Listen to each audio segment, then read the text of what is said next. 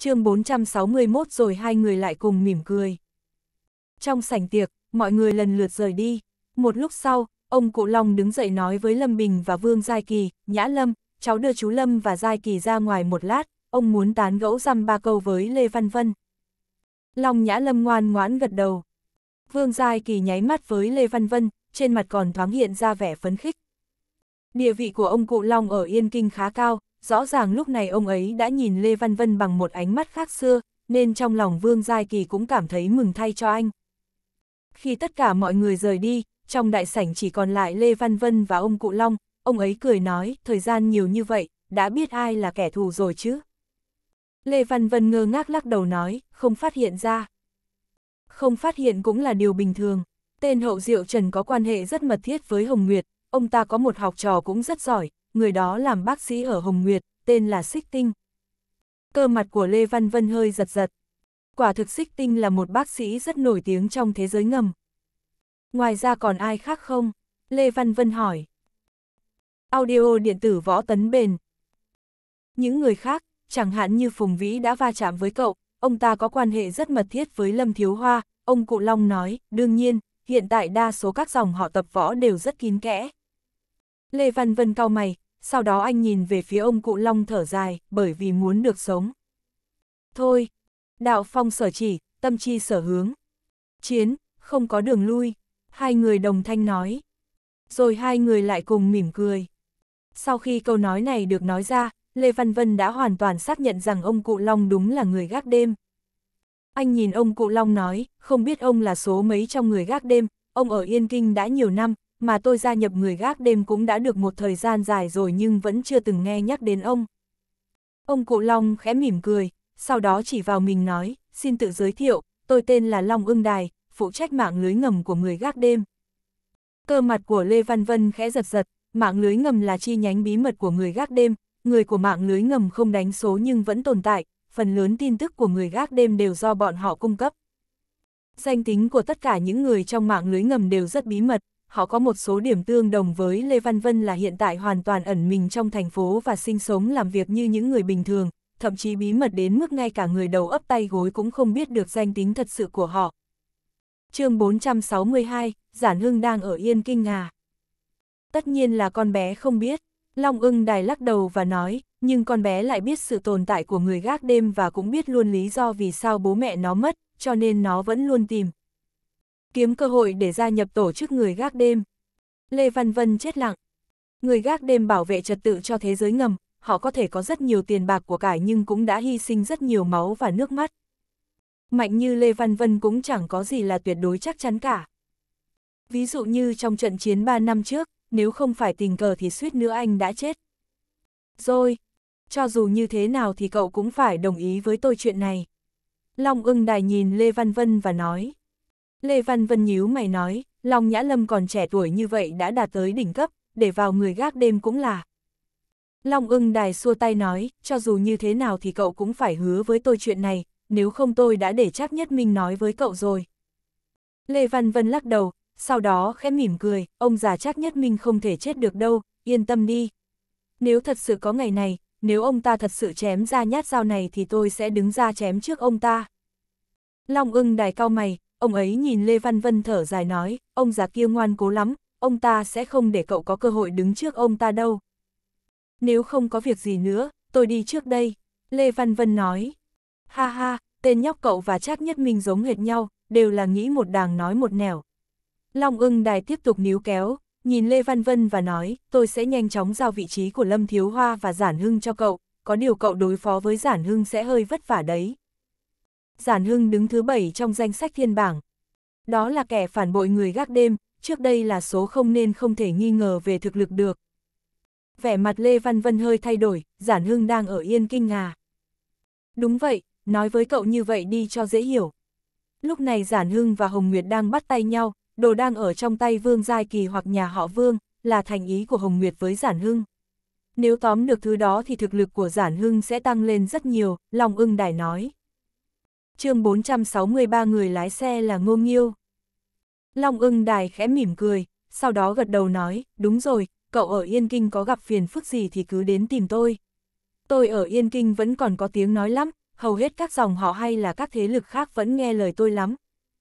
Lê Văn Vân gật đầu. Họ nói chuyện một lúc rồi mới bước ra khỏi sảnh tiệc. Sau khi chào tạm biệt đám người Long ưng đài, Lê Văn Vân ra cổng chào tạm biệt Vương Giai Kỳ và Lâm Bình rồi tự mình lái xe về nhà.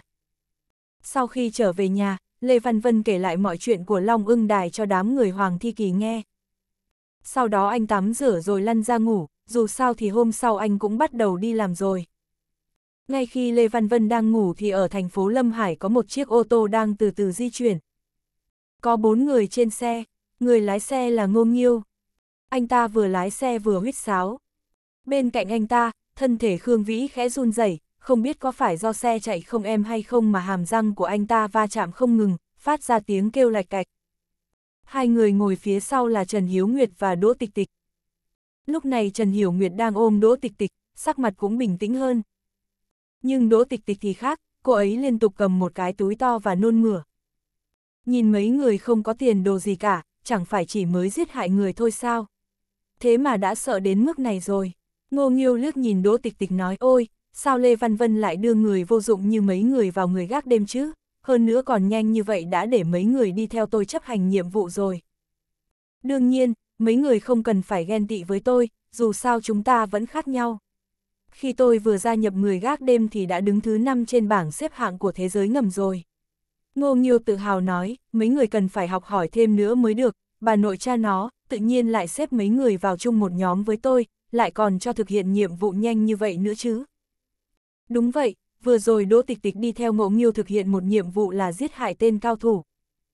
chương 464, có biết địa chỉ nhà của Lâm Nhã không? Anh ta và Ngô Nghiêu gia nhập cùng nhau, cả hai đều thích chém gió, tính tình rất hợp nhau. Tịch tịch, hay là cô thôi đi, Trần Hiểu Nguyệt vỗ vỗ lưng Đỗ Tịch Tịch nói. Đỗ Tịch Tịch nôn ra rồi lau miệng, sau đó cắn răng nói, không được, tôi nhất định phải đứng. Bên cạnh Lê Văn Vân, đứng cái rằm ấy, Ngô Nghiêu nói cô còn tưởng là tiểu thuyết ngôn tình à mà đòi đứng bên cạnh anh ta. Mấy người quá nhát gan, vừa rồi nhìn thấy hai tên Hồng Nguyệt kia đã bị dọa đến mức này rồi. Má nó, chẳng phải tôi đã đâm anh ta một nhát à. Thận anh ta đã bị tôi đâm xuyên còn gì. Khương Vĩ không phục nói. Họ vừa đấu khẩu vừa lái xe lao đi trong màn đêm. Tổ bốn người mới nhất của người gác đêm đang từ từ xuất phát. Sau một đêm lặng lẽ, sáng hôm sau Lê Văn Vân dậy sớm đi thẳng đến công ty như thường. Khi đến tập đoàn trí đạt quẹt thẻ, điều khiến anh ngạc nhiên là Lâm Nhã, người thường rất đúng giờ, thậm chí đến rất sớm nhưng hôm nay chưa đến công ty. Lê Văn vẫn đến nhóm bán hàng thứ hai và cau mày hỏi, này, Lâm Nhã đâu? Không có ở đây à? Hôm nay cô ấy không có ở đây, lúc này, tổ trưởng tổ bán hàng số 2 nói cũng không biết chuyện gì đã xảy ra. Hử, Lê Văn Vân cau mày, không gọi điện thoại sao? Không, Hầu Bảo Khôn lắc đầu và nói, thật kỳ lạ, theo lý mà nói thì bình thường cô ấy luôn là người đầu tiên đến công ty, cực kỳ đúng giờ mới đúng. Không hiểu vì sao hôm nay không hề có tin tức gì, ngay cả người cũng không thấy bóng dáng đâu cả. Lê Văn Vân cau mày, anh lấy điện thoại di động ra gọi cho Lâm Nhã. Nhưng Lâm Nhã không trả lời cuộc gọi của Lê Văn Vân. Lê Văn Vân cảm thấy có gì đó không ổn. Theo tính cách của Lâm Nhã, điều này là không thể. Với tính cách hiền lành của Lâm Nhã, ngay cả khi cô ấy bị ốm thì nhất định sẽ gọi điện hoặc gửi tin nhắn WeChat báo một tiếng. Nhưng cho tới bây giờ vẫn không có tin tức gì, cho nên chỉ có một khả năng, có thể Lâm Nhã đã xảy ra chuyện. Lê Văn Vân cau mày, anh nhìn Hầu Bảo Khôn và hỏi, có biết địa chỉ nhà của Lâm Nhã không? Chúng tôi không biết, nhưng phía nhân sự biết. Hầu Bảo Khôn vội vàng nói. Lê Văn Vân gật đầu nói, tôi biết rồi. Nói xong, anh lấy điện thoại di động ra gọi cho Bành Hàn Đông, sau đó đến phòng nhân sự tìm hiểu thông tin của Lâm Nhã. Sau khi xác nhận địa chỉ nhà của Lâm Nhã, anh rời tập đoàn trí đạt lái xe đến nhà của Lâm Nhã. Sau khi bật hướng dẫn chỉ đường lên, Lê Văn Vân khẽ cau mày. Nhà của Lâm Nhã cách công ty họ khá xa, nếu không bị tắc đường thì cô ấy phải lái xe mất gần một tiếng. Giờ Lâm Nhã đã có ô tô rồi nên còn đỡ, trước đây chưa có ô tô thì hàng ngày cô ấy phải dậy thật sớm. Cô gái này chính là một cô gái bình thường làm việc rất chăm chỉ. Lê Văn Vân thở dài, anh cố gắng tăng tốc hết mức có thể phải mất gần 40 phút mới đến được địa chỉ nhà của Lâm Nhã. Vừa bước xuống xe, lông mày anh hơi nhăn lại. chương 465, mày có tiền không? Không có, một xu cũng không có. Lâm Nhã nghiến răng nói, tôi đã nộp hết cho bệnh viện rồi. Mày có thể lấy 20 vạn trong số 40 vạn tiền thuốc men mà, mày có lấy hay không? Giọng nói bạo lực tiếp tục vang lên. Đồng thời, có tiếng khóc và tiếng thở gấp gáp. Mẹ, mẹ, Lâm Nhã lo lắng nói. Không lấy phải không, nếu không lấy thì hôm nay mày đừng hòng bước ra khỏi cánh cửa này. Giọng người đàn ông lại vang lên. Ông ở bên ngoài tìm người tình, bỏ rơi mẹ con chúng tôi, giờ lại tìm đến chúng tôi đòi tiền, ông có biết xấu hổ không, có biết xấu hổ không? Một giọng nói đầy tức giận kèm theo tiếng nức nở khác vang lên. Ông mày tìm con gái đòi tiền là chuyện hiển nhiên chính đáng. Phía sau cánh cửa, giọng nói của người đàn ông không hề biết xấu hổ vang lên. Lê Văn Vân đứng ở cửa, lông mày nhíu lại thật sâu. Có vẻ như cuộc sống của Lâm Nhã không mấy suôn sẻ.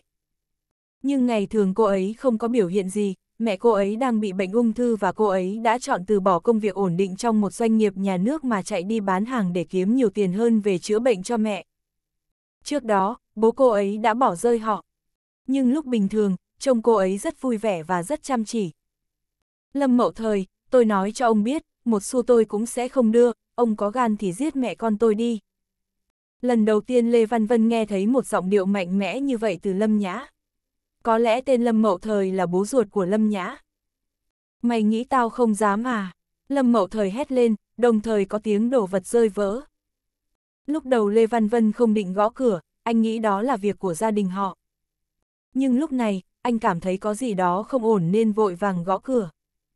Là ai? Giọng nói mất kiên nhẫn của Lâm Mậu Thời vang lên. Âm, ầm ầm, Lê Văn Vân không trả lời, cứ tiếp tục gõ cửa. Két, ngay sau đó, cửa mở ra và một người đàn ông dâu ria xồm xoàm mở cửa, vừa nhìn thấy Lê Văn Vân, ông ta đã sửng sốt nói cậu là ai? Lê Văn Vân liếc ông ta rồi đẩy cửa bước vào phòng. Lúc này, căn phòng rất bừa bộn, trên mặt đất có nhiều mảnh thủy tinh, nhiều vật dụng bằng thủy tinh bị vỡ. Cách đó không xa, một người phụ nữ trung niên đang ngồi trên mặt đất, nước mắt chảy ròng ròng. Còn Lâm Nhã đang che chở cho bà ta, đôi mắt đỏ hoe nhưng lại không hề rơi một giọt nước mắt nào. Khi nhìn thấy Lê Văn Vân, cô ấy hơi sững sờ, sau đó hỏi, Lê Văn Vân. Sao anh lại ở đây? Không sao chứ, Lê Văn Vân bước tới chỗ Lâm Nhã và dịu dàng hỏi, sau đó anh đỡ người phụ nữ trung niên nói, gì à, gì đứng dậy trước đi. Lê Văn Vân, lúc này, người đàn ông phía sau Lê Văn Vân nhìn anh đầy nghi ngờ, sau đó hỏi, cậu có phải bạn trai của con nhỏ này không? Lê Văn Vân nhìn ông ta, bình tĩnh nói cút. Cút à, mày có biết tao là ai không? Tao là bố của con nhỏ kia đấy. Lâm Mậu Thời cười gần, mày muốn cưới con nhỏ đó thì phải được ông đây đồng ý, biết không hả? Audio điện tử võ tấn bền. chương 466 vậy anh phải thỏa mãn một chút mới được. Tôi không quan tâm ông là ai, nhưng bây giờ ông lập tức cút ra khỏi căn phòng này đi. Mặc dù giọng nói Lê Văn Vân không lớn, song lại mang theo vẻ cương quyết. Lâm Mậu thời đầu tiên là hơi sướng sờ, sau đó ông ta sờ sờ dâu của mình, cười nhạo một tiếng, nhìn Lê Văn Vân nói, nhóc con, chẳng lẽ mày vẫn chưa hiểu được à? Ông đây là bố của là Lâm Nhã, mày muốn cưới Lâm Nhã vào cửa thì còn phải được ông đây đồng ý mới được. Ông đừng có ở trong này mà một tiếng, ông đây, hai tiếng, ông đây, với tôi. Lê Văn Vân nhìn ông ta nói, ông là người như thế, không xứng là người làm cha. Mau chóng cút đi, nếu không tôi cũng không quan tâm gì hết. Mày có thể thế nào? Lâm Mậu Thời nói, ông đây ở trong nhà con gái mình mà còn cần mày đồng ý ư. Ông ta nghiễm nhiên bày ra dáng vẻ lưu manh. Tất nhiên, dựa theo biểu hiện trước đó của ông ta, bản thân ông ta xác thật chính là một kẻ lưu manh. Lê Văn Vân nhìn thoáng qua Lâm Nhã, sau đó xoay người. Nếu đối phương có yêu cầu này, vậy anh phải thỏa mãn một chút mới được. Anh đi tới bên cạnh Lâm Mậu Thời, sau đó nắm lấy cánh tay Lâm Mậu Thời. Mày muốn làm gì, buông ra cho tao. Lâm Mậu Thời hét lên. Ngay từ đầu ông ta muốn phản kháng, nhưng đi cùng với việc ông ta dùng sức, Lê Văn Vân cũng bắt đầu phát lực. Cơn đau dữ dội trên cổ tay Lâm Mậu Thời truyền vào gáy ông ta. Cả người ông ta như sắp điên lên, ông ta cảm giác xương cốt của mình như sắp bị nghiền nát vậy. Buông tay, buông tay, ông ta gào thét lớn tiếng. Cút, Lê Văn Vân hừ lạnh một tiếng, thuận tay ném ông ta ra ngoài. Cả người ông ta loạn choạng, nhưng ngả lảo đảo mà lăn ra ngoài cửa, mông ngã phịch xuống đất. A à, a, ông ta giống lên một tiếng, giận dữ lao lên. Ngay lúc này, Lê Văn Vân bước ra từng bước, đi tới chỗ cửa, đội con ngươi lạnh lùng nhìn chằm chằm ông ta. Lâm Mậu Thời ôm cổ tay của mình, nhìn vào đôi mắt lạnh như băng của Lê Văn Vân. Ông ta có hơi hoảng, chạy mấy bước dọc theo cầu thang, sau đó cười khẩy nói, nhóc con, được lắm. Mày tên là Lê Văn Vân đúng không, ông đây nhớ kỹ mày rồi. Mày đừng hòng có được lâm nhã, muốn có được lâm nhã, mẹ nó mày không lấy ra được một ngàn vạn thì không có cửa đâu. Nói xong, dường như lại sợ Lê Văn Vấn động thủ, ông ta chạy từ trên lầu xuống như bỏ trốn. chương 467 trong lòng cô ấy có sự cảm động vô tận. Lâm Nhã thở dài, vì tôi, mẹ tôi không đến với những người đàn ông khác, cứ như vậy mà nuôi tôi, thường xuyên bị người đàn ông đó đến quấy rối. Tính cách mẹ tôi yếu đuối, bản thân người đàn ông đó không kiếm được tiền là lại tới đòi mẹ tôi. Không cho thì đánh, còn lấy tôi ra uy hiếp. Lần này, người đàn ông đó không biết nghe được từ đầu là tôi kiếm được rất nhiều. Ông ta chạy tới đây, nói con trai ông ta phải đi học, cần đi học lớp bổ túc, về sau còn phải cưới vợ, bảo tôi đưa cho ông ta 20 vạn. Lâm Nhã nói, làm sao tôi có thể cho ông ta được, sau đó mới xảy ra một màn vừa rồi. Lê Văn Vân nghe đến đó, trong lòng thoáng nảy lên. Rõ ràng, Lâm Nhã không có một chút cảm giác công nhận nào với người bố ruột của cô ấy. Lúc nói về Lâm Mậu Thời, cô ấy đều dùng từ, người đàn ông đó thay thế. Ông ta biết địa chỉ của các cô, sao các cô không chuyển nhà chứ? Lê Văn Vân cau mày. Chuyển nhà, có thể chuyển đi chỗ nào? Lâm Nhã cười khổ một tiếng, trước đây, tôi phải đi học, sức khỏe mẹ tôi cũng vẫn luôn không tốt như vậy. Trước kia, bà dựa vào việc làm bảo mẫu cho người ta kiếm chút tiến, hiện giờ đã bị bệnh rồi, tôi cũng muốn đổi một hoàn cảnh tốt hơn một tí. Nhưng điều kiện không cho phép, tiền thưởng lần này của công ty cũng phải tháng sau mới có thể nhận, cho nên cứ tạm bỡ ứng phó một chốc thôi. Thế còn bệnh tình của gì thì sao? Sao cô không tìm công ty lấy tiền thưởng sớm một chút, sau đó cho gì đến bệnh viện khám bệnh trước? Lê Văn Vân nhíu mày. Tôi, không phải loại không biết thẹn như vậy. Lâm Nhã cúi đầu, nước mắt tí tách chảy xuống. Có lẽ là do gia đình, Lâm Nhã đã có một chút hiếu thắng từ tận xương tủy. Cô ấy cố gắng làm việc, chỉ muốn khiến mẹ mình sống được tốt hơn, để cho mẹ mình có thể có tiền khám bệnh. Trước khi Lê Văn Vân đến tập đoàn Trí Đạt, mặc dù cô ấy chỉ đang thử việc, nhưng cô ấy luôn là người đến sớm nhất, về trễ nhất, sẵn sàng học hỏi nhất. Đổi chỗ ở đi, bây giờ đi tìm nhà đi. Lê Văn Vân vỗ vai cô ấy. Tôi, bây giờ tôi không có nhiều tiền như thế. Lâm Nhã nói, hốc mắt đỏ bừng. Tôi có, tôi cho cô mượn trước là được, chờ cô được phát tiền lương rồi trả lại cho tôi. Lễ Văn Vân nói, còn nữa, loại người như Lâm Mậu thời này, quả thật không đáng. Lâm Nhã mở to đôi mắt đẫm lệ mông lung nhìn Lê Văn Vân. Bất chợt, cô ấy giang rộng hai tay, ôm chầm lấy Lê Văn Vân. a à, rồi cô ấy bắt đầu bật khóc, như thể muốn hoàn toàn chút hết cảm xúc của mình ra.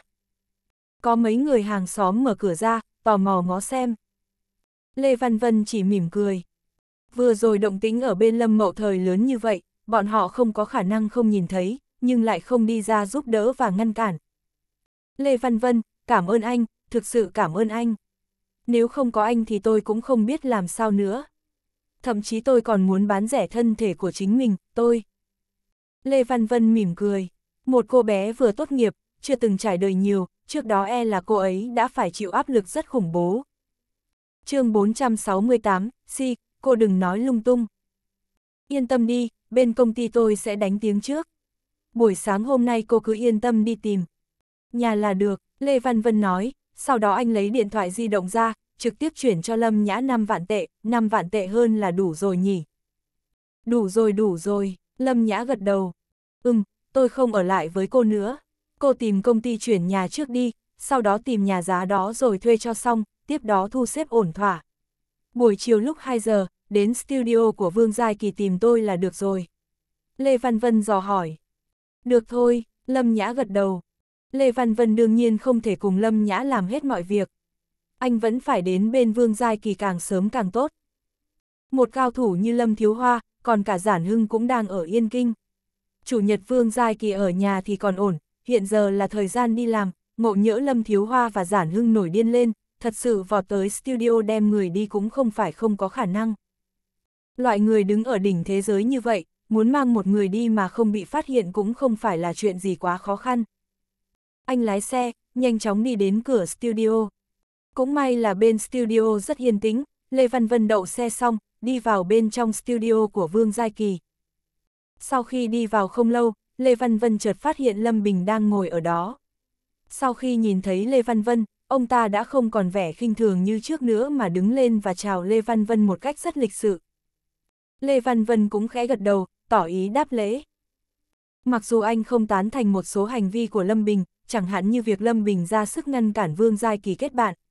Nhưng xét cho cùng, về phương diện bảo vệ Vương Giai Kỳ, họ phải hợp tác với nhau, nên anh cũng chẳng bận tâm đến ông ta quá nhiều. Sau khi chào hỏi, anh đi về phía văn phòng của Vương Giai Kỳ. Vừa đến gần, anh đã nghe thấy một tràng âm thanh. Không phải cô nói Lê Văn Vân sẽ đến chỗ cô sao? Cô lừa tôi, giọng nói của Trần Hy từ trong văn phòng truyền đến. Chà chà, nhìn cô như thế này, chắc không phải là có thích Lê Văn Vân người ta rồi chứ. Nhưng mà anh ấy còn lớn hơn cô 7, 8 tuổi nha. Vương Giai Kỳ nói. Si, cô đừng nói lung tung. Trần Hy vội nói. Còn ngại nữa kìa, Vương Giai Kỳ sảng khoái nói, nhưng tôi cũng không biết chuyện gì đang xảy ra, hay là tôi gọi điện thoại cho cô hỏi một chút xem. Cút đi, tôi và Lê Văn Vân chỉ là bạn bè bình thường thôi, được chưa? Vương Giai Kỳ, tôi phát hiện cô quá không đứng đắn rồi đấy. Trần Hy hất mái tóc ngắn của mình, trừng mắt nhìn Vương Giai Kỳ nói. khụ khụ lúc này, Lê Văn Vân ho khan một tiếng, đi về phía cửa, gõ cửa. Ui, nhắc Tào Tháo thì Tào Tháo đến, người mà cô ngày nhớ đêm mong đã xuất hiện ở cửa rồi. Vương Giai Kỳ cười hì hì nói. Trần Hy quay đầu lại, nhìn thấy Lê Văn Vân ở cửa. Ngay sau đó, mặt cô ấy tức thì đỏ bừng lên, vội vàng nói, Lê Văn Vân, anh đừng nghe Vương Giai Kỳ nói bậy. Chỉ là lâu rồi tôi chưa gặp mặt anh nên muốn đến đây gặp anh mà thôi. Lê Văn Vân cười nói, chỉ nhớ tôi thì cũng không sao, dù sao một người xuất sắc như tôi khiến cho các cô gái nhớ thương cũng là bình thường thôi. Lời nói không biết xấu hổ của Lê Văn Vân ngay lập tức khiến bầu không khí trở nên sôi động. chương 469, tôi cảm thấy phương pháp này rất hiệu quả. Cái này thì khẳng định là không thành vấn đề. Nên mà, trưa hay tối? Lê Văn Vân hỏi. Buổi trưa đi, Trần Hy lên tiếng, buổi tối tôi phải đến chỗ của bố tôi. Nói đến đây, cô ấy thở dài một hơi, nói, bố mẹ lại cãi nhau rồi. Lần này mẹ tôi cũng đến đây, bà ấy định trả lại tập đoàn Hoàn Vũ cho bố tôi. Trong lòng Lê Văn Vân khẽ động, nhưng đây là chuyện của gia đình Trần Hy, trừ khi Trần Hy hoặc Trần Mỹ Huyên chủ động nhờ Lê Văn Vân giúp đỡ, nếu không Lê Văn Vân không tiện nhúng tay vào. Vậy cũng được, buổi trưa ăn cơm đi, Lê Văn Vân cười nói. Đồng thời, ở Yên Kinh, trong một trang trại du lịch ở ngoại ô, trang trại này không có mối làm ăn gì, toàn bộ trang trại cũng vô cùng yên tĩnh. Trên một con đập bên ngoài trang trại, Giản Hưng đang nằm trên ghế bập bênh. Trong tay anh ta cầm một bộ bài tây đùa nghịch. Bất thình lình, anh ta kẹp lá bài, gập tay bắn ra. Trong nháy mắt này, lá bài tây bay vụt ra ngoài như lưỡi kiếm sắc bén, thẳng ra bên ngoài trang trại. Cong! Ngoài cửa giường như có tiếng rút đao vang lên, ngay sau đó, lá bài tây bị bắn ngược trở về. Giản hưng duỗi ra hai ngón tay kẹp lấy lá bài tây, đồng thời tay phải cũng hơi dơ lên, giữa khe hở ngón tay, nháy mắt kẹp lấy bảy, tám lá bài tây. Dừng tay, dừng tay, thực sự không thể chịu đựng được rồi. Một giọng nói vang lên, sau đó, Lâm Thiếu Hoa mặc một thân áo gió, trên mặt có một vết sẹo, từ sau cửa bước ra, trên mặt nở nụ cười phẫn nộ. Ông ta nói, tôi cũng đâu phải đến theo dõi cậu. Tôi tới đây là có chuyện thương lượng với cậu. Ở đây có cửa chính. Giản Hưng vẫn còn giọng khàn khàn, anh ta chỉ về phía cửa nói. Thói quen nghề nghiệp, quen trốn chạy trong yên lặng, Lâm Thiếu Hoa vội ho một tiếng. Nói, như thế nào, thu phục Vương Giai Kỳ rồi hả? Giản Hưng hỏi. Không có, Lâm Thiếu Hoa lắc đầu nói. Vậy thì ông đến tìm tôi làm gì? Giản Hưng hỏi lại, lắc lá bài trên tay. Lâm Bình đó cả ngày một tấc cũng không rời Vương Giai Kỳ. Trong nhà họ Vương có một ông già hỏng việc, tôi lại không dám xông vào tóm lấy công khai. Bên người gác đêm cũng trốn trong bóng tối. Tôi không dám tùy tiện động thủ, vẫn nên xác nhận người mà người gác đêm phải đi phòng thủ rốt cuộc là ai trước đã rồi lại sắp xếp người đi. Lâm Thiếu Hoa ho khan một tiếng rồi nói. Vậy ông đến chỗ tôi làm gì? Giản Hưng thản nhiên nói, sau đó thần sắc của anh ta có chút thay đổi, xuất hiện đi. Quả nhiên xứng đáng là người thứ bảy trong thiên bảng, lúc này, ở cửa, một người mặc vest mang giày da rất chỉnh tề bước vào. Anh ta là người tóc vàng mắt xanh, trong ánh mắt mang theo một loại khí chất quý tộc. Gia tộc đem, giản hưng nhướng mày hỏi, có thể có bản lĩnh ẩn nấp cỡ này, anh hẳn là flo đem Nhi. Có thể được ngài giản biết tên của tôi là vinh hạnh cho tôi, flo đem nói bằng tiếng Trung lưu loát, thay mặt ông nội tôi, xin gửi lời chào đến ngài. Có chuyện gì thì cứ nói đi, giản hưng bình tĩnh nói. Ngài biết đấy, lần này tôi đến nước Hoa là để điều tra về cái chết của em trai tôi. Theo chứng cứ của ngài Lâm, chuyện này là do cựu người gác đêm số 0 của Trung Hoa gây ra, tên này đứng đầu địa bảng, thực lực vô hạn, đã tiệm cận siêu cấp. Sau 3 năm, anh ta có thể vượt qua cấp độ đó hay không thì không ai có thể nói trước được.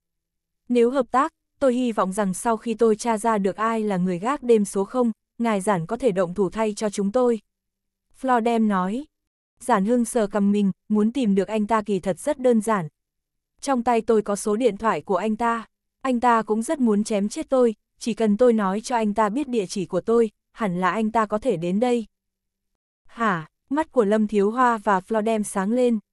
Lâm Thiếu Hoa hưng phấn nói, đã như vậy, vậy sao chúng ta không lên kế hoạch, trực tiếp giết chết tên này. Tên này tồn tại khiến cho Bùi ninh Tùng kia sợ đến mức hoàn toàn không dám xuất hiện. chương 470, không ngờ Lâm Nhã này là người như vậy. Thời gian điểm 12 giờ trưa, Lê Văn Vân cùng với hai người Vương Giai Kỳ và Trần Hy cùng nhau ra khỏi studio. Đương nhiên, còn có Lâm Bình. Kể từ khi nhận được tin tức, Lâm Bình gần như đi theo Vương Giai Kỳ không rời một tấc. Bọn họ cũng không tìm nhà hàng cao cấp nào.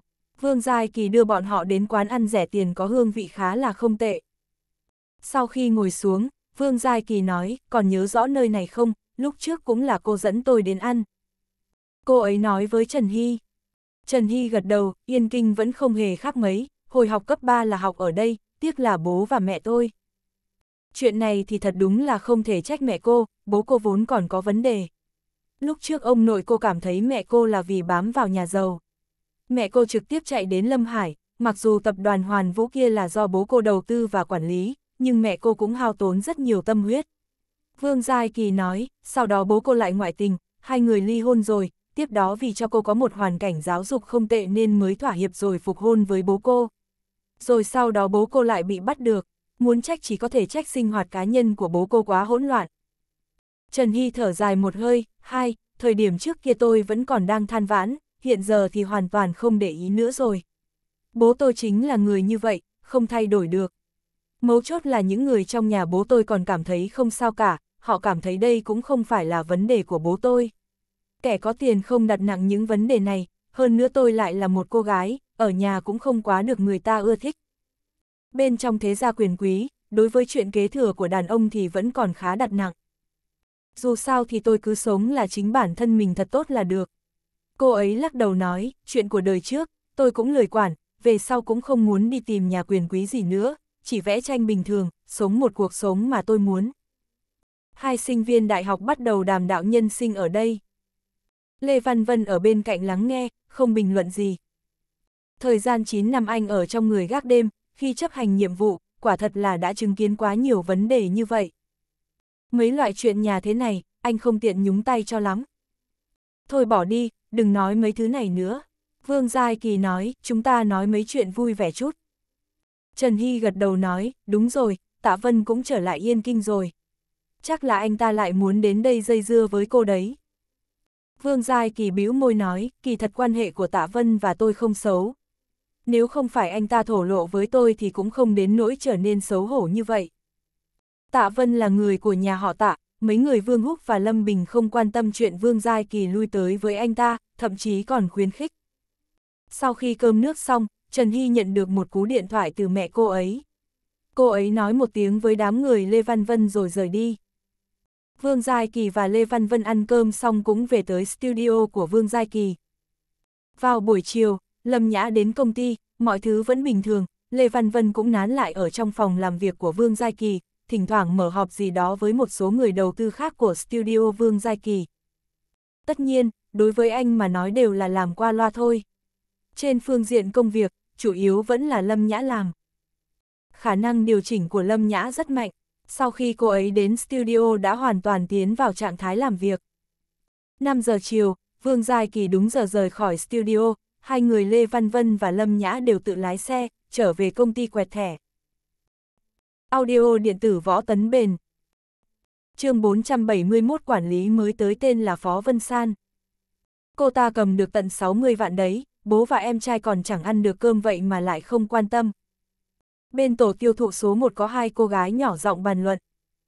Lê Văn Vân bỗng nhìn về phía bọn họ, thản nhiên nói, không biết gì cả thì đừng có nói bừa, không biết nói chuyện thì ngậm cái miệng lại, chẳng ai nói các người cầm đâu. Lê Văn Vân, anh nói thể là không đúng rồi. Lúc này, Hầu Bảo Khôn đứng dậy nói, tôi biết anh có hứng thú với Lâm Nhã, mỗi làm ăn này với nhà họ Vương cũng là anh mang tới. Nhưng những gì chúng tôi nói cũng là sự thật mà, vừa rồi bố Lâm Nhã đều nói hết cả rồi. Thần sắc Lâm Nhã khó coi, ông ta nói gì? Là những gì như bọn họ vừa nói. Ông ta nuôi nấng cô khôn lớn, kết quả sau khi cô đeo bám được một người giàu có thì không thèm để ý tới ông ta nữa, chế ông ta là một ông bố nghèo. 2. Phụ nữ có bộ dạng xinh đẹp quả là có ưu thế. Lại là một chàng nghị luận vang vọng bên tai bọn họ. Lâm Nhã ấm ức không chịu được, cô ấy cắn môi, trong lòng lo lắng khôn nguôi.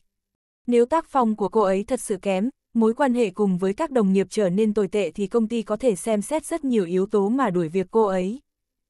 Lê Văn Vân cũng hoang mang toàn tập, anh không ngờ bố của Lâm Nhã thế mà lại là một người như vậy. Đây quả thực chính là người không biết xấu hổ, thiên hạ vô địch. Họp đi, họp đi. Lúc này, một nữ quản lý mới đến bước ra khỏi văn phòng, sau đó vỗ nhẹ tay, nói, Lâm Nhã, cô đến văn phòng trước, những người khác toàn bộ đến đây. Lâm Nhã cắn chặt răng, sau đó nhìn về phía Lê Văn Vân. Lê Văn Vân nhẹ giọng nói, đi qua đi, có Tổng Giám Đốc Bành ở đó, bố cô không dám làm gì đâu. Nhiệm vụ báo cáo hôm nay giao cho tôi là được. Đúng vậy, bọn họ đang khai thông với bên Vương Giai Kỳ, mỗi ngày đều phải báo cáo tiến độ với công ty. Trước đó đều là do Lâm Nhã làm, họ phải cung cấp cho các công ty ở đây mỗi ngày, thậm chí Lê Văn Vân cũng không đến công ty quẹt thẻ làm gì. Kết quả không dễ dàng gì mới trở lại một chuyến, lại gặp chuyện như vậy. Đợi cho Lâm Nhã rời đi, Hầu Bảo Khôn bỗng nhiên mở miệng nói quản lý phó. Quản lý mới tới tên là Phó Vân San. Phó Vân San nhìn về phía anh ta mà hỏi, có gì cần phải báo cáo không? Không có gì báo cáo thì nghe báo cáo công việc về dự án này của Lê Văn Vân trước đã. Mối hợp tác với nhà họ Vương là ưu tiên hàng đầu của toàn bộ tập đoàn Trí Đạt bây giờ. Sau khi cô ta nghe xong cũng phải chỉnh sửa lại, xong xuôi rồi trình lên cho các lãnh đạo cấp cao xem. chương 472 đây là nơi làm việc, phải tranh giành. Có một chỗ dựa là bối cảnh gia thế của nhà họ Vương, thương hiệu của Vương Giai Kỳ, trong thời gian 3 đến 5 năm có thể sẽ đưa ra thị trường, và lại đạt được thành công rực rỡ. Mà người phụ trách của dự án này được lựa chọn ở bộ phận tiêu thụ, hơn nữa chỉ là một nhân viên bán hàng bình thường, điều này khiến cho toàn bộ bộ phận tiêu thụ thấy mà thèm vô cùng. Phụ trách chuyện này cũng không phải đặc biệt khó khăn, tương đương với việc lấy không một khoản tiền thưởng cùng với cơ hội tiến vào nhóm lãnh đạo cấp cao của công ty sau này. Mọi người đều muốn có được nó. Nhưng dự án này là do Lê Văn Vân mang đến, còn Lâm Nhã là do Lê Văn Vân đích thân lựa chọn, bọn họ không tiện nói thêm gì cả. Mà hôm nay, cơ hội này đang đến. Bố Lâm Nhã đến đại náo trong công ty, gây sự chú ý rất lớn cho công ty. Bây giờ Lâm Nhã vẫn là một nhân viên bình thường, vừa rồi chỉ vì mối làm ăn trước đó nên được chuyển chính thức mà thôi, bọn họ có đủ lý do để sử dụng chuyện này nhằm đuổi việc Lâm Nhã. Về phần sau khi sa thải, ai đi lên thì đó là điều bọn họ hy vọng nhìn thấy. Nhóm người với tư cách là tổ trưởng tiêu thụ hẳn là có cơ hội lớn nhất. Cho nên bọn họ đã lén thông đồng với nhau, nhất trí quyết định đuổi Lâm Nhã đi trước rồi nói sau. Bộ phận tiêu thụ của Tổng bộ Tập đoàn Trí Đạt tổng cộng có 9 tổ tiêu thụ. Mặc dù Lê Văn Vân không hài lòng, không đồng ý, cũng không dám đồng thời làm gì bọn họ. Cho nên bọn họ căng ra dầu đưa ra một ý tưởng như vậy. Phó Vân San cao mày, sau đó nói, chuyện này xử lý cụ thể như thế nào, bên công ty sẽ cung cấp câu trả lời chính xác. Tại thời điểm này, tổ trưởng của tổ tiêu thụ số 1 có một người tên là Đặng Ngải nói, quản lý, tôi thật sự không muốn làm việc với người như thế, ngộ nhớ bị bố cô ta vạch trần trên truyền thông, đến lúc đó thanh danh của tập đoàn Trí Đạt đều đã bị hao tổn. Nếu, Lâm Nhã được giữ lại, tôi sẽ tạm rời cương vị công tác. Tôi cũng thế. Trong khoảng thời gian ngắn, tất cả các tổ trưởng tiêu thụ gần như đồng thời tiến lên trước một bước. Cùng lúc đó, có một số người khác trong bộ phận tiêu thụ cũng đứng lên theo. Lê Văn Vân nhìn một chút, ước chừng có 34 người. Những người khác đều im lặng ngồi một bên, không nói gì. Lâm Nhã mà cũng có thể phụ trách được chuyện này, đại đa số mọi người cũng nghĩ rằng bản thân có cơ hội, cùng lắm thì lấy lòng Lê Văn Vân một chút mà thôi. Một miếng thịt béo bở như vậy, bọn họ thật sự là không muốn vứt bỏ hy vọng. Đây gần như là có thể là cơ hội phát nhanh trong một ngày cũng không chừng. Đối với việc Lâm Nhã bị sa thải trở nên thê thảm thế nào? Liên quan gì đến bọn họ? Đây là nơi làm việc, phải tranh giành. Phó Vân San nhíu mày nói, các người muốn làm gì thế này, ép cung sao? Tôi cũng đã nói rồi, bên công ty sẽ có một phương thức xử lý. Đừng cho là tôi không biết các người đang có chủ ý gì. Tôi nói rõ, ngay cả khi Lâm Nhã không lấy được dự án này thì cũng không tới phiên các người đầu. Lê Văn Vân còn đang đứng đây này. Hầu Bảo Khôn bất chấp nói, cái đó và dự án gì không liên quan đến nhau. Tôi chỉ không muốn làm việc với người có vấn đề về nhân phẩm mà thôi. Đây là nguyên tắc của tôi. Đúng, vấn đề nguyên tắc, Đặng Ngải cũng nói theo. chương 473 cô làm theo những gì tôi nói là được rồi. Chỉ những người này thôi nhỉ. Lê Văn Vân nhìn đám người Hầu Bảo Khôn mà nói. Hầu Bảo Khôn cắn răng nói, Lê Văn Vân, Lâm Nhã xinh đẹp thật, nhưng cô ta thực sự là người không có năng lực gì. Trước kia dựa vào sinh sắn, bám vào được phương ý nên mới sinh tồn được trong công ty. Anh còn trẻ, đừng đâm đầu vào cô ta. Lê Văn Vân mỉm cười, không chú ý đến lời nói của anh ta, sau đó nói, nếu các anh đã muốn từ chức, vậy tôi sẽ thỏa mãn các anh. Các anh chủ động từ chức, bọn họ cũng thấy được cả, thế thì thu dọn đồ đạc rồi rời khỏi công ty đi. Nếu tổ trưởng của 10 tổ tiêu thụ điều chống thì đưa nhân viên tiêu thụ lâu năm lên. Vị trí của những nhân viên tiêu thụ này chống thì thông báo tuyển dụng một lần nữa. Hiện tại công việc chủ yếu cũng là hợp tác với bên nhà họ Vương. Nhu cầu nhân viên tiêu thụ của dự án khác của công ty cũng không quá lớn. Bên các công ty chi nhánh hẳn là cũng có không ít người có thể dùng được. Tụ tập với nhau. Nói đến đây, anh cười như không cười nhìn Hầu Bảo Khôn nói, các anh nghĩ rằng các anh ra mặt theo tập thể thì thật sự sẽ không bị sa thải à. Anh cũng quá coi trọng bản thân rồi. Sắc mặt Hầu Bảo Khôn đột nhiên thay đổi, nói với vẻ mặt khó coi, Lê Văn Vân, dựa vào đầu hả. Anh cùng lắm cũng chỉ là một nhân viên bình thường của công ty mà thôi, anh làm gì có tư cách đuổi chúng tôi đi. Lê Văn Vân hoàn toàn chẳng muốn để ý đến anh ta nữa. Anh nhìn Phó Vân San mà nói, quản lý phó, cô làm công tác thống kê một chút xem những người đứng đây là người nào, phải thống kê từng người từng người một cho kỹ. Sau đó trực tiếp bảo bọn họ rời đi là được, bên Tổng Giám Đốc Bành, tôi sẽ nói lại. Phó Vân San sướng sờ nhìn Lê Văn Vân, sau đó gật đầu nói chuyện này. Tổng Giám Đốc Bành bằng lòng sao? Ông ta không có lý do không bằng lòng, cô làm theo những gì tôi nói là được rồi. Lê Văn vẫn bình tĩnh nói. Lúc này, những người muốn tạm rời cương vị công tác đã bắt đầu trở nên hoảng loạn. Sau đó có một số người không nhịn được mà lặng lẽ hạ cờ ngồi lại, tựa hồ muốn nhân lúc chưa bị thống kê thì có thể thoát khỏi vậy. Chính như lời vương ý, tập đoàn trí đạt tốt xấu gì cũng là công ty niêm yết, đãi ngộ của bộ phận tiêu thụ đặc biệt là đãi ngộ của bên tổng bộ này không tệ. Nếu không phải tham lam, bọn họ cũng không nguyện ý đứng ra, không muốn tạm rời cương vị công tác. Thần sắc chắc chắn của Lê Văn Vân khiến cho bọn họ cảm giác được một nỗi e ngại, cho nên trong khoảng thời gian ngắn, họ không nhịn được mà muốn trốn. Chỉ có đám người hầu bảo khôn là thần sắc khó coi vô cùng. Đặng ngải nhìn Lê Văn Vân nói, Lê Văn Vân, mẹ nó, đừng có nói như là bản thân mình rất lợi hại. Nếu anh lợi hại, nếu là con nhà giàu thì còn đến công ty chúng tôi đi làm à? Tôi cũng không tin Tổng Giám Đốc Bành thật sự sẽ sa thải nhiều người như vậy tập đoàn trí đạt cũng không tới lượt anh chỉ trỏ đâu. Lê Văn Vân lười nói nhảm với những người này, anh nhìn những người ngồi xuống rồi nói, những người vừa đứng lên, người cùng tổ nhìn thấy cũng có thể báo cáo. Cùng tổ của các người thiếu một người thì cơ hội cạnh tranh tổ trưởng sẽ lớn hơn một chút.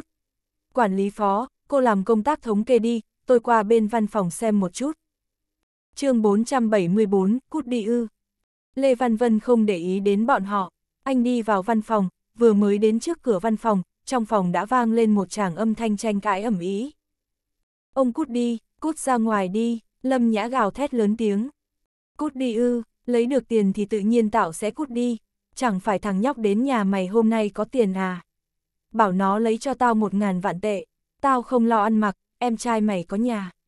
Đầy đủ rồi thì tao sẽ không đến gây phiền toái cho mày nữa. Nếu không ngày nào tao cũng đến làm phiền mày, ngày nào cũng đến công ty tụi mày, em mờ thanh của Lâm Mậu thời truyền ra. Người anh em, ông đừng có chơi xấu ở chỗ chúng tôi. Tôi nể tình ông là bố của Lâm Nhã nên mới cho ông ngồi ở đây. Bây giờ xem ra, mẹ nó, ông chỉ là một tên vô lại.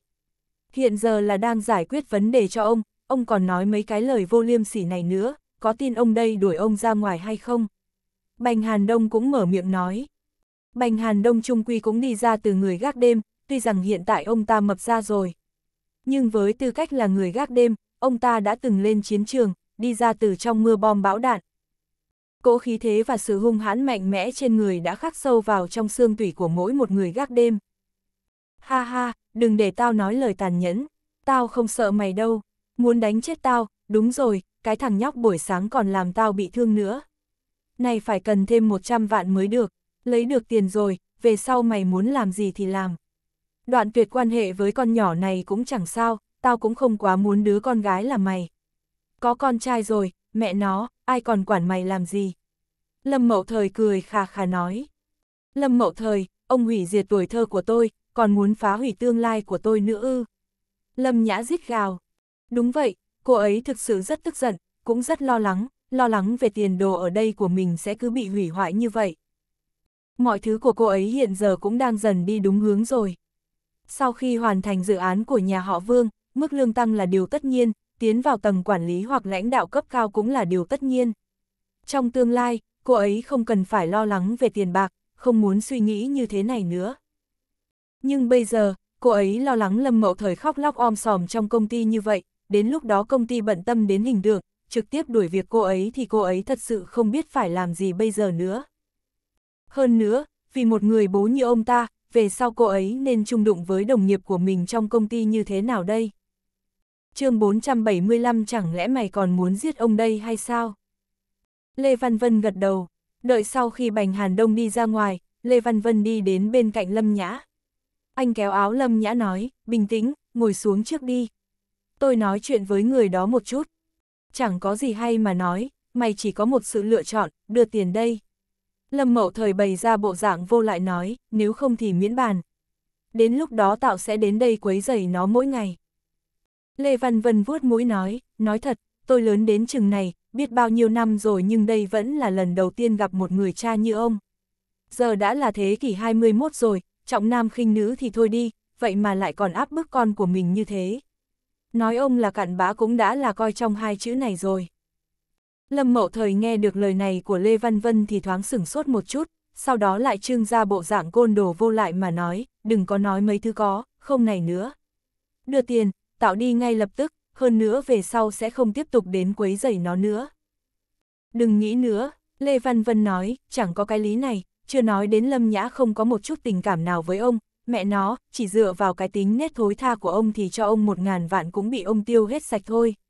Về sau ông vẫn sẽ tiếp tục đi quấy rối Lâm Nhã.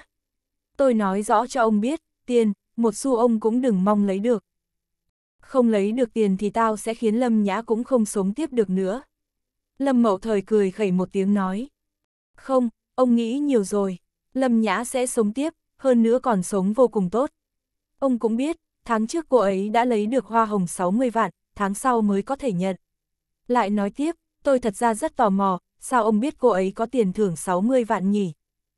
Chuyện này không liên quan đến mày, Lâm Mậu Thời cười khẩy nói. Cũng đúng, không quan trọng như vậy nữa.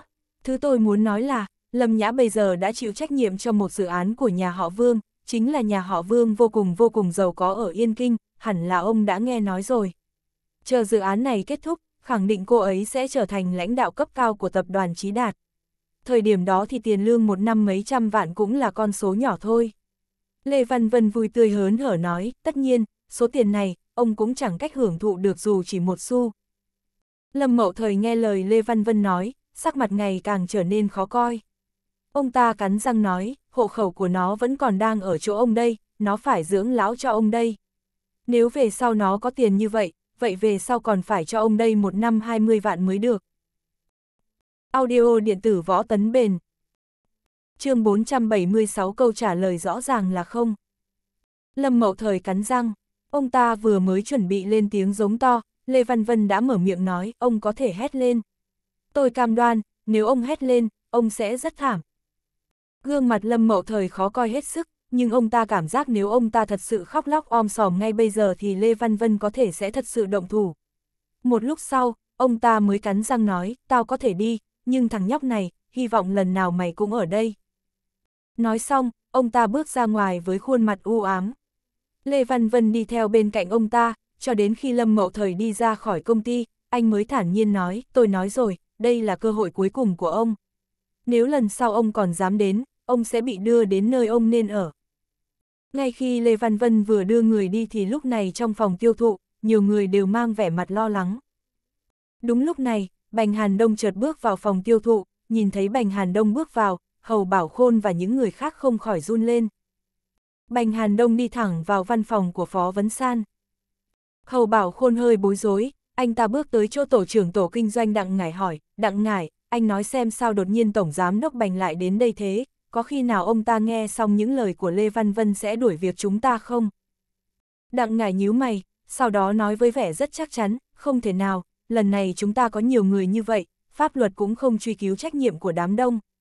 Nếu như nhiều người bị đuổi việc trong một lúc thì sẽ ảnh hưởng rất lớn đến công ty. Nhưng, lỡ như anh ta nhắm súng vào con chim đầu đàn thì sao? Lúc nãy hai người chúng ta là người nói nhiều nhất, lỡ anh ta nhắm vào chúng ta thì sao đây? Hầu Bảo Khôn hỏi. Anh ta hỏi thẳng Đặng Ngải như vậy khiến sắc mặt của Đặng Ngải thật khó coi. Nếu thực sự là nhắm súng vào con chim đầu đàn, đến lúc đó hai người họ bị đuổi việc thì liệu những người khác có sẵn sàng đứng ra bảo vệ họ hay không? Câu trả lời rõ ràng là không. chương 477 cô không ngại chuyện bố cô sẽ đi tù chứ? Bành Hàn Đông liếc anh ta rồi chẳng thèm để ý tới nữa, sau đó nói tiếp tổ trưởng tiêu thụ số 2 Hầu Bảo Khôn. Tổ trưởng tiêu thụ tổ 3. Ông ta đọc hết tên này đến tên khác. Toàn bộ phòng kinh doanh chìm vào im lặng một lúc lâu, các tổ trưởng tổ tiêu thụ cay đắng ngồi sụp xuống ghế sofa. Họ không bao giờ nghĩ rằng Bành Hàn Đông thực sự làm điều này, thực sự muốn đuổi việc họ. Đây chính là công việc ở tập đoàn Trí Đạt đó, vậy mà đã đuổi việc hết 30-40 người rồi, những người có thể làm công việc tiêu thụ hàng hóa tại trụ sở đều là sinh viên hàng đầu hoặc những người có thành tích rất tốt. Vậy mà đã bị đuổi việc hết rồi. Trong khoảng thời gian ngắn, toàn bộ tổ tiêu thụ rơi vào im lặng, có người tuyệt vọng, mà những người ở lại đều mừng thầm. Đúng vậy, ngay cả khi họ không thể giành được dự án của nhà họ Vương thì sao chứ, nếu họ có thể trở thành tổ trưởng tổ tiêu thụ thì tiền lương của họ cũng có thể tăng vọt. Hầu Bảo Khôn và Đặng Ngải ngồi phịch xuống ghế, họ thực sự hoảng loạn và không biết phải làm gì. Mỗi khi Bành Hàn Đông đọc một cái tên, tâm trạng của người đó lại như rơi xuống đáy vực.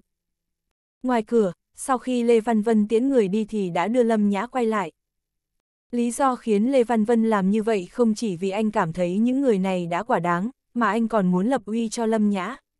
Anh biết sau chuyện này, mọi người trong công ty sẽ có cái nhìn khác với Lâm Nhã, vì để những người đó câm miệng nên anh đã dùng cách thức cực đoan như vậy. Đối với một cô gái như Lâm Nhã, không cần thiết phải suy sụp tâm lý vì một tên đàn ông không ra gì như vậy. Cho dù công ty không làm gì cô ấy, nhưng bản thân cô ấy sẽ không chịu được áp lực mà bỏ đi. Sau khi Bành Hàn Đông đọc xong những cái tên thì Lê Văn Vân và Lâm Nhã cùng nhau bước vào văn phòng. Được rồi, ngày mai những người được nêu tên không cần phải đến công ty nữa, về phần bầu lại tổ trưởng mới thì mai hãy nói vậy. Giờ mọi người có thể bấm thẻ tan làm được rồi. Bành Hàn Đông nói. Tích. Ông ta vừa nói xong thì Lê Văn Vân liền đi tới cửa, bấm thẻ rồi cười với Lâm Nhã, cô cũng bấm thẻ tan làm đi. Lâm Nhã gật đầu, cô ấy về chỗ của mình, cầm túi sách rồi bấm thẻ. Mọi người đều đang nhìn Lâm Nhã khiến cô ấy xấu hổ, sau khi bấm thẻ thì vội vàng đi ra ngoài. Sau khi bước xuống tầng dưới, Lâm Nhã liếc nhìn Lê Văn Vân cảm ơn, Lê Văn Vân, cảm ơn anh, nếu không có anh thì tôi chẳng biết phải làm thế nào cả. Lê Văn Vân cười nói, không sao, về sớm đi. Cứ yên tâm, nếu Lâm Mậu Thời còn dám đến quấy rối cô thì tôi sẽ xử lý ông ta. Cô không ngại chuyện bố cô sẽ đi tù chứ? Chỉ cần ông ta không làm phiền tôi thì tôi không quan tâm đến sống chết của ông ta. Lâm Nhã nói. chương 478, vẫn chưa đến à? Sao vậy? Lê Văn Vân hỏi. Nói qua điện thoại rất khó nói, anh mau trở về trước đi. Phạm Nhược Tuyết. Nói. Được, Lê Văn Vân không chần chừ nữa, cúp điện thoại rồi nhanh chóng lái xe về nhà.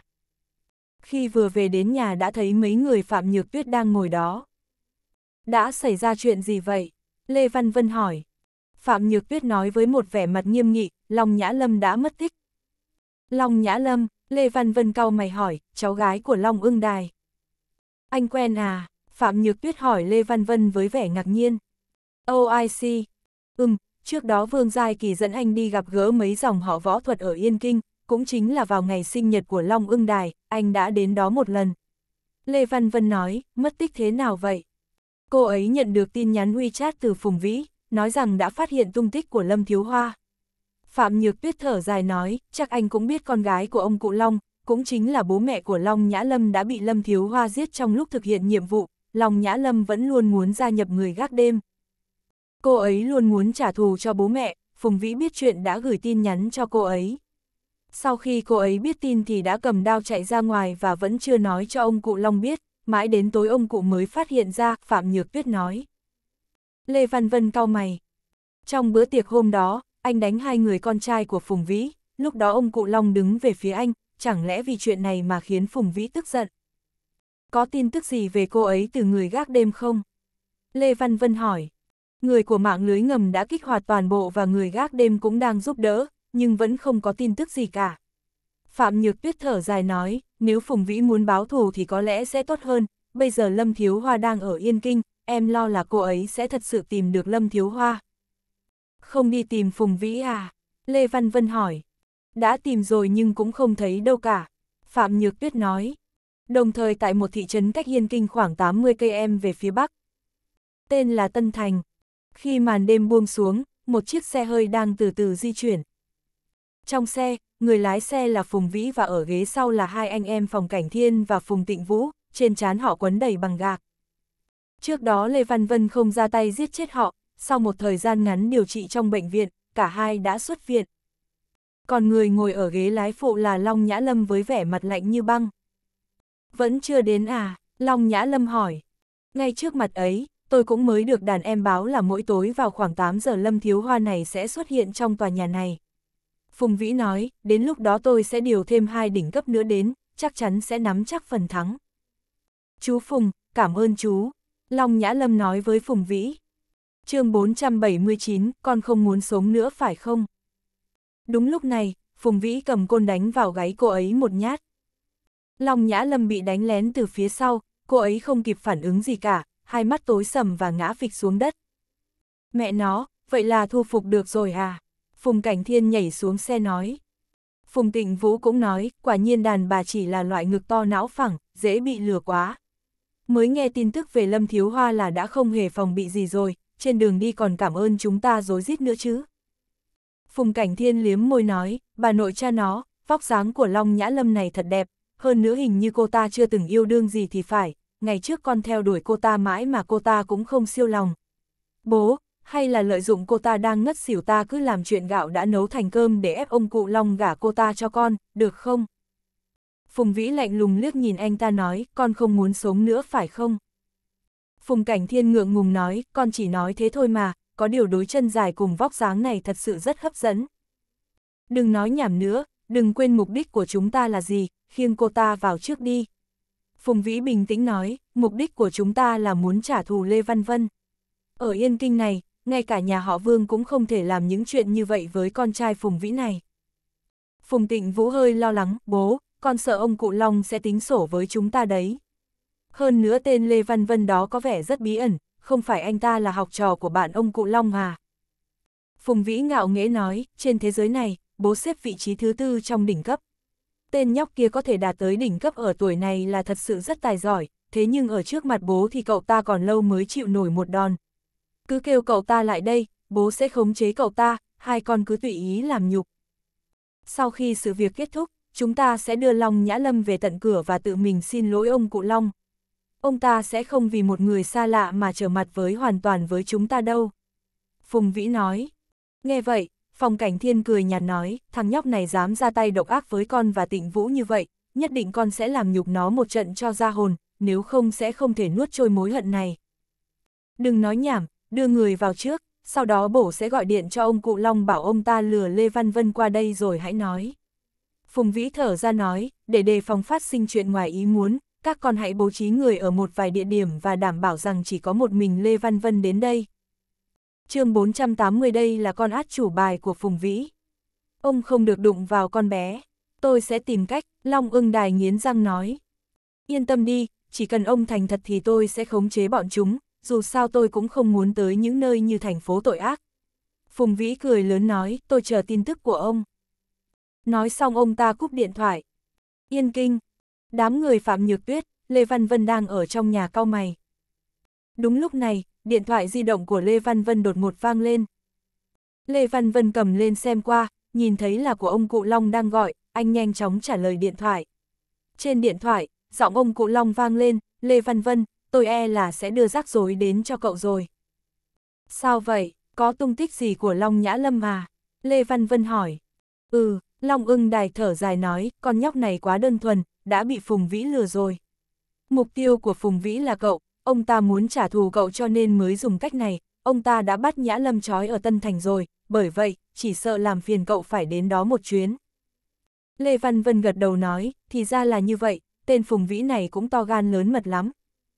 Ông ta ỉ mình xếp thứ tư trong địa bảng đó. Long ưng đài thở dài và nói, bình thường ông ta cũng coi như tôn kính tôi, nếu Nhã Lâm không xảy ra chuyện gì ngoài ý muốn thì hãy nể mặt tôi mà chưa cho họ một con đường sống. Xếp thứ tư trên địa bảng, nếu gia nhập Hồng Nguyệt thì vẫn sẽ gặp rắc rối đấy. Lê Văn Vân sờ sờ cái mũi nói, như vậy đi, đến lúc đó tôi sẽ sắp xếp người nhỏ thì đến thành phố tội ác, còn người lớn thì đưa đến nhà giam của trụ sở người gác đêm, ông thấy thế nào? Không thành vấn đề, Long ưng đài gật đầu nói. Lê Văn Vân thở dài nói, cho tôi địa chỉ, tôi sẽ đến đó ngay. Long ưng đài gật đầu, sau khi cúp máy rồi lập tức gửi cho Lê Văn Vân một tin nhắn. Đương nhiên đám người Phạm Nhược Tuyết có thể nghe thấy giọng nói trên điện thoại, dù sao đã là thực lực đỉnh cấp rồi mà, Hoàng Thi Kỳ nói tôi đi với anh. Không cần đâu, họ cao nhất cũng chỉ là thứ tư trong địa bảng mà thôi, tôi tự mình thực hiện nhiệm vụ là được rồi. Lê Văn Vân cười với họ và nói, có thể họ đã chuẩn bị phục kích sẵn ở phía sau, nhưng tôi cũng chẳng sợ những chuyện như vậy đâu. Được, vậy hãy cẩn thận nhé. Phạm Nhược Tuyết hỏi, vì sự an toàn, hãy mang đao theo. Lê Văn Vân nhíu mày nói, mang theo đạo phá không và vô danh, dấu hiệu quá rõ, anh sợ sẽ bại lộ. Thà bị bại lộ còn hơn là bị chết. Phạm Nhược Tuyết nói, kêu anh mang theo thì anh cứ mang đi, đừng nhiều lời. Lê Văn Vân rụt cổ nói, được rồi. Phạm Nhược Tuyết quấn hai thanh đao trong lớp vải và ném cho Lê Văn Vân, sau khi lấy hai thanh đao, Lê Văn Vân đi tới nhà để xe, đặt phá không và vô danh ở ghế sau rồi khởi động xe đi về phía Tân Thành. Cùng lúc đó, trên đường cao tốc giữa Yên Kinh và Tân Thành, một nhóm bốn chiếc xe màu đen đang từ từ tiến về phía trước. Audio điện tử võ tấn bền Hết chương 480